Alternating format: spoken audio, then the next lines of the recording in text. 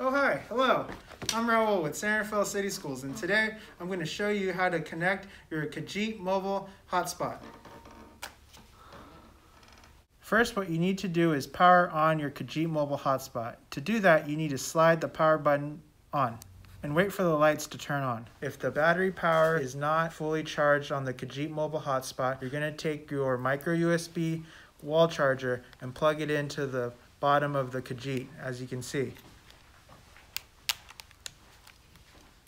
On the back of the mobile hotspot, you will see the name as Kajeet Smart Spot. That is the name of the Wi-Fi.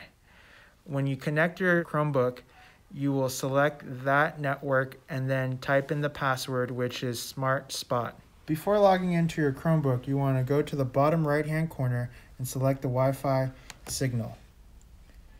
Then you're going to search for the Wi-Fi hotspot from Kajeet, which is called Kajeet Smart Spot.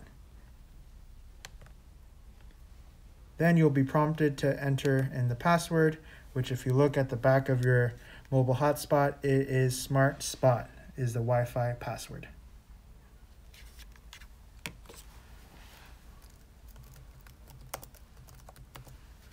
Then press connect. You will now see the indicator on your Chromebook that it has connected to your mobile hotspot. As you can see, it says connected. Go ahead and log in with your student email. Then enter your password.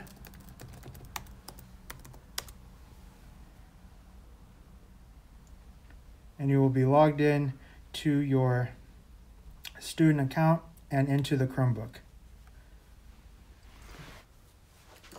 Thank you for watching our tutorial on how to connect your Kajeet mobile hotspot to your Chromebook. Have fun and be safe online. Thank you.